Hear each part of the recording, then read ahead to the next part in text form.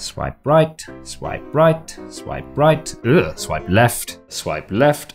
Right, so I know our YouTube fans are clamouring for us to make another episode of Map Men, but first I thought I'd tell you about a little project I've been working on. Uh huh. It took quite a lot of blood, sweat, and tears, but I think you'll be impressed. That's very interesting. I spent the last six weeks in South Sudan. It's the world's youngest country, you see, so very little of it has been mapped. So I thought I'd head out there with my ranging poles, my trundle wheel, and uh, start to map the place. Really?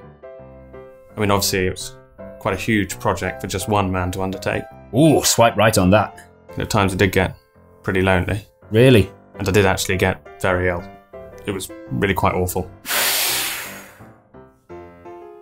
Jay, I'm trying to tell an important and emotional story. Can you just leave it with the dating app for one moment? Finished. What? Papua New Guinea. What do you mean, finished Papua New Guinea? I've mapped it. Well, I helped. What are you talking about? Me and a whole bunch of mappers from around the world have been using a new app called MapSwipe. It helps humanitarian workers like MSF navigate unmapped parts of the world. So if there's an emergency, they can quickly identify where help's needed. Like in South Sudan? Exactly.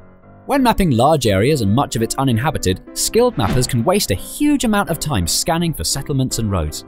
MapSwipe uses satellite imagery of countries like South Sudan and breaks it up into manageable chunks so people like you and me can easily identify which bits need mapping.